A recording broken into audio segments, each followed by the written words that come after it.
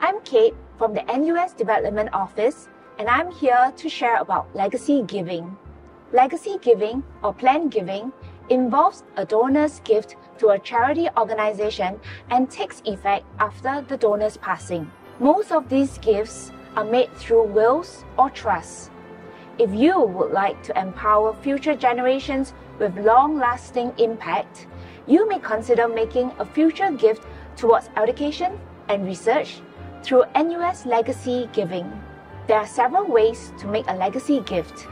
The first is to make provisions in your estate to support charitable organizations, foundations, or other meaningful causes that you care about. You can also name a charitable organization as a beneficiary of a life insurance policy. You can even nominate a preferred charitable organization to receive your CPF monies. If you make a legacy gift to the National University of Singapore, the impact of your generosity will be felt in years to come by our students, the leaders and change makers of tomorrow. Your gift will also enable us to work on critical research and attract top academics to deliver high quality education at NUS.